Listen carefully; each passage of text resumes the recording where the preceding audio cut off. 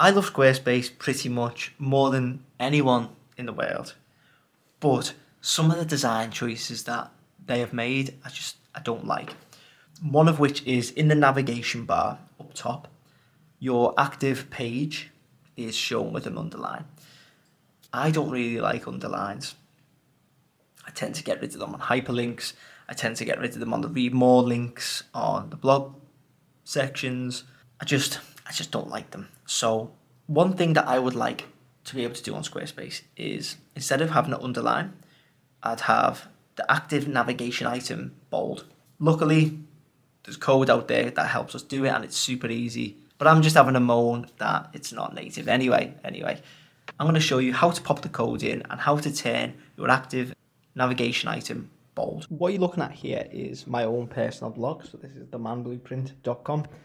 If anyone wants to go and read what I've got to say, then head on over. So what you'll see here is when we navigate to blog, for instance, there is no underline under the active item, whereas on the Code Examples website that I usually use, we've got home, which has an underline.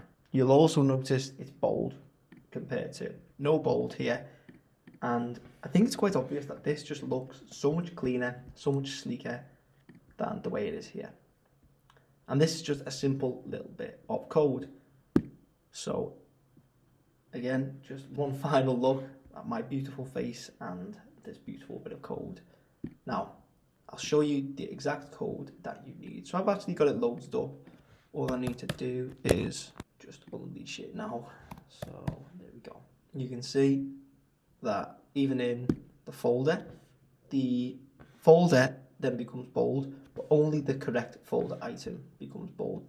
Some codes make everything in that folder bold. And I'm going to explain to you how this works now. So basically, what we're saying here with this with this greater than symbol is that, or is it the less than? I don't know. Whatever way it is, is uh, what we're saying is that A, which is a link, is a direct descendant of what is on the left, which is the active navigation. Then with the comma, we're saying, okay, that's one thing. Now we're targeting a second thing, which is our folder content itself. So the more things we list, the further we're nested in terms of this here lives within this, and then this lives within this. So think of this as your surface level, and then we get deeper with each thing that we target. So what we end up targeting is header nav folder item content, which is essentially the items within our folder. And that's what allows us to target single items in the folder and not have everything go bold when we select it. Now, if you don't have folders, this is fine. You don't you don't really have to use this. So let's say we were to take this out. You could see it wouldn't target that, but it would still stay across the links in the main nav. But a lot of people do use folders, so you may as well just copy the whole thing. Anyway, so once we've opened our brackets, within there we're putting font weight 600. And that essentially just means make it bold.